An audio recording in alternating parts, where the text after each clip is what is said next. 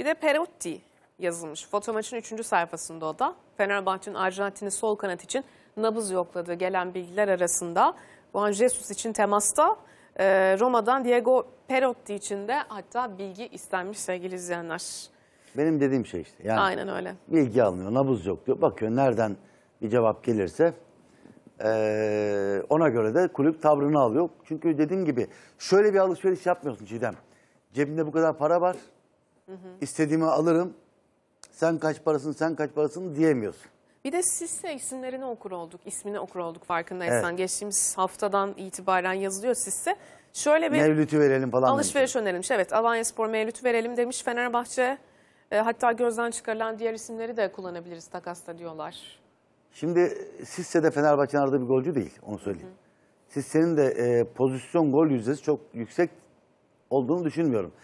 E, Alanya Spor'da gol atmak ve Fenerbahçe atmak arasında dağlar kadar fark var. Onun için çok kalibrenin yüksek olması lazım. Aynı seviyeye korumak. Örneğin Wagner Love Alanya'da efsane oldu. Beşiktaş'ta Evet. kestane oldu. Kestane oldu.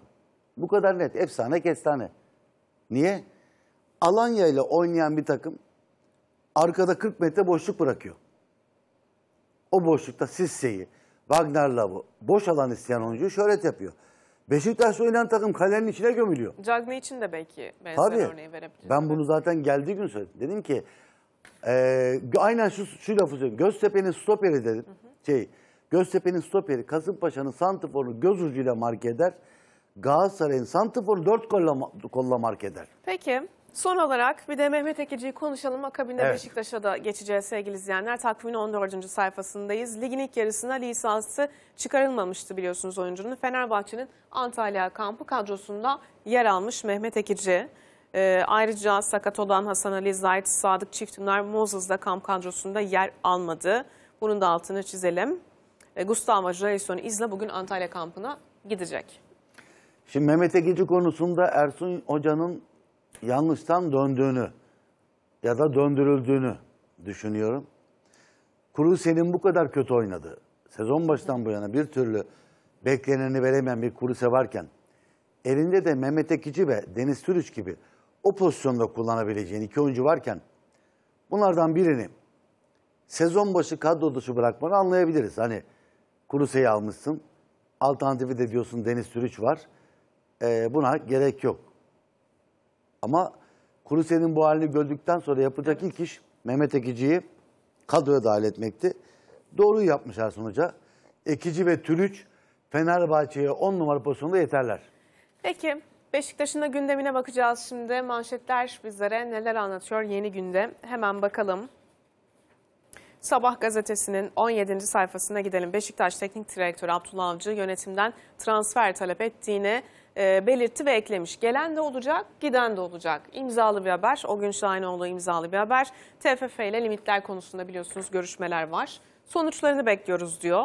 E, mevcudu daha iyi hale getirmek istiyoruz. Muhakkak çözümler bulacağız. Önce bütçeyle alakalı bir cevap gelsin. Sonra biz önümüze bakacağız diyor Turgay abi. Nedir planlamalar içeride? Şimdi Çiğdem, e, Beşiktaş'ın, e, pardon Fenerbahçe'nin atacağı imzadan sonra Beşiktaş ve Galatasaray'ın marjları biraz değişebilir. Yani bu yaptıkları anlaşmadan bahsediyorum. Çünkü en son Fenerbahçe'nin yaptığı anlaşma bence onlar için de geçerli olacaktır. Ben Fenerbahçe'nin daha iyi bir anlaşma yapacağını düşünüyorum. O borçlanma limitinin artması halinde şimdi diyeceğim şey değişebilir. Ama ben şu anda mevcut duruma göre konuşuyorum. Beşiktaş'ın kolay kolay oyuncu satma şansı yok. Çünkü gözden çıkardığı oyuncular talibi olan oyuncular değil. Hiçbir yere gidemezler demiyorum. Giderler elbet ama e, bu karlı bir gönderme olmaz. Tyler Boyd ya da Lens. Vida. için. Vida. Ben daha için resmi bir teklif gelmediğini biliyorum. Gelirse olabilir, değerlendirebilirsin ama gelmedi. Burak belki gider, belki diyorum. Şimdi o da sakat şu anda. Sakatken devre arasında bir adamı kimseye kolay kolay satamaz. Pedro ve Zaza Beşiktaş'ın ciddi boyutta ilgilendiği forvetler. Balotelli zaten daha önce anlaştığı, Şenol Hoca istemediği için alınmayan bir oyuncu.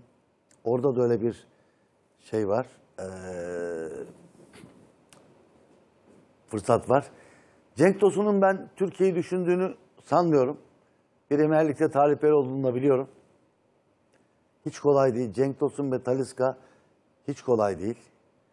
Ee, Napoli'deki şey 34 yaşında ee, Laurent belki şartları daha uygun olabilir ama görüntü o ki bu forvet ee, İtalya'dan gelecek gibi gözüküyor. Zaten Fiorentina, Torino, Napoli, Napoli Brescia forvetlerine ilgileniyor Beşiktaş. Çünkü orada 3'er 4'er forvetle lige başlayan takımlar var. Onlar da arıza çıkan adamı da çok fazla tutmayı sevmiyorlar. Gomez'i de tutmadılar biliyorsun Fiorentina. O nedenle İtalya'dan bir santifor gelecek ama ötesi için Beşiktaş'ın elinin biraz bollaşması lazım. Şu anda eli bol değil. Peki Domagoj Vida planları bozmuş sevgili izleyenler. Açıklamaları var. Ee, Akşam gazetesinin 19. sayfasına gidelim. Hırvat stoperin açıklamaları. Yönetim alt üst etti demiş Akşam gazetesi. Aston Villa ve Rennes'den gelen teklifler olduğunu söylüyor. Türkiye'de çok mutluyum. Beşiktaş'tan ayrılmak istemiyorum diyerek geri çevirmiş. Ee, transfer içinde söylüyoruz oyuncu satmak zorunda. Vida'nın bu böyle bir tavrı oldu mu? Geçen sene de olmuştu. Ha, Vida ben burada çok mutluyum demişti geçen sene de.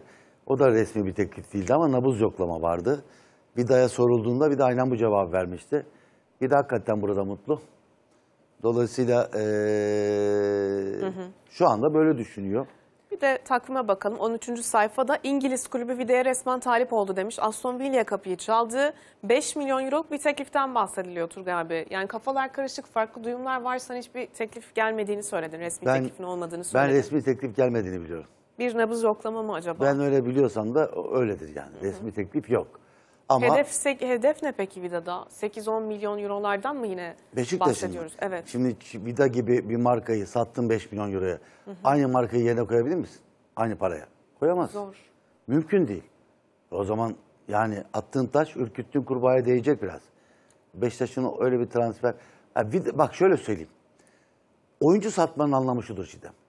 Bu Anadolu kulüpleri için geçerli. Örneğin Mert Hakan'ı Sivas'tan istiyor. Sen Mert Hakan'ı Galatasaray'a, Beşiktaş'a, Fener'e verdiğin zaman hem kasana para koyup hem de o parayla Mert Hakan'ın yerini doldurabiliyorsan aldığın paradan bahsediyorum. Kârdasın yoksa zarardasın. O yüzden sattığın oyuncunun yerini dolduracaksın. Artık kasana para gidecek. Transfer budur. Peki bir kere daha gidelim Ee, Beşiktaş'ın transfer gündemine grafiğe. Forvet adayları üzerinde biraz daha detaylı duralım. Lorente, Napoli'nin 34 yaşındaki oyuncusu. Şimdi ön plana çıkan isimlerden bir tanesi. Hatta bugün gazetelerde de gördüm. Ee, bazı İtalyan basındaki gazeteler şöyle dediler. Uluslararası pazarı araştırıyor Beşiktaş. Nikola Kalinic'i aslında bir nabız yoklamasını aldı ama sonrasında Lorente'yi takip aldı. 2,5 alıyor. 3 milyon euro isteyebilir, talep edebilir demiş. Tabii rakamlar da burada yüksek olarak karşımızda. İşte bu rakamların yazılması 34 çok önemli bir yani. şey. Şu mantığı yürütebilirsin. Beşiktaş 34 yaşında bir santifora kendi ortalaması 1,5 milyon euroya düşmüşken 2,5 bile vermez. Hemen onu sileceksin listeden. Vermez. Ha oyuncu orada 2,5 alıyor. Şu matematiği yapalım. Orada 2,5 alıyor. Eğer net mi bilmiyorum. Netse tamam. Gelemez. Ama aldığı para vergi dahilse demek ki 1,250 alıyor. Vergi dahilse 1,250 alıyor demektir o. Çünkü orada %50 vergi var önce. Bizde vergi yok. Onu e, bilmiyorum o rakamın içine vergi dahil mi hariç mi? Fakat Çiğdem bak e, ben formülü yazayım. Matematikte vardır ya formüller. Sonucu herkes kendi bulsun. Bu Fenerbahçe, Beşiktaş, Galatasaray için bedava olacak. Artı yıllık ücreti belli bir rakamın altında olacak. Artı işe yarayacak. Eşittir bu transfer olur. Bedava. Yıllık ücreti belli bir şeyin altında 6 ay için 750 bin euro gibi düşünelim. Onye kurunun Evet. o şeyde. Artı işe yarayacak. Böyle kaç adam var dünyada? Ona baksın insanlar. Yani her diyorlar ki her şey yazıyorsun bizim heyecanımızla oynuyor. Biz oynamıyoruz kardeşim. Aklın yok mu? Bu kulüplerin parası yok. Galatasaray satmadan alamaz. Ben sana yarın Galatasaray Ahmet'i transfer ediyor diyorsam aklın yok mu? De ki sen beni kandırıyorsun.